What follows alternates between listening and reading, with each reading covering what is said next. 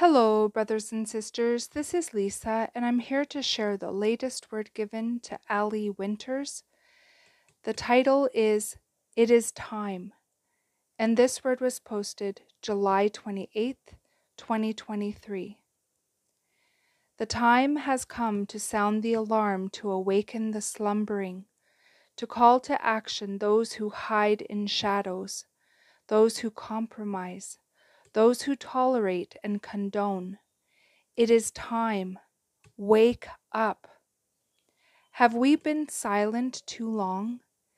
Let's make it personal. Ask yourself Have I been silent too long? Have I done what I could when I should? Or did I cower in fear of what man might say or think? Is my aim to please God or to please man? What is happening to the church, our nation? The world is otherworldly. If we do not recognize the enemy, we will be unaware of tactical plots and plans to kill, steal, and destroy, and be taken captive by our silence and acceptance of change. Be sober minded, be watchful, your adversary, the devil, prowls around like a roaring lion, seeking someone to devour. 1 Peter 5, verse 8. Are you battle ready or battle weary?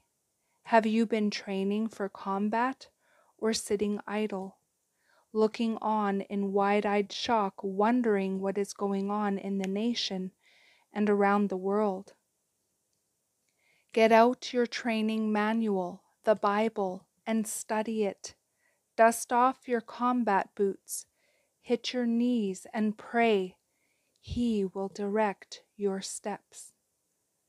And that is the end of this message. I pray you all have a beautiful day in the Lord. God bless each and every one of you. And if you do not know Jesus as your Lord and Savior, please call out to him right now Ask Him into your heart. Ask Him to forgive you of your sins, and from then on have a relationship with Him. You all have a great day, and I will see you either next video or in the air. Bye bye.